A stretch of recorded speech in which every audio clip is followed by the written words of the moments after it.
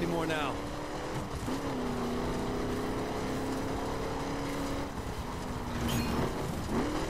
It has to be here.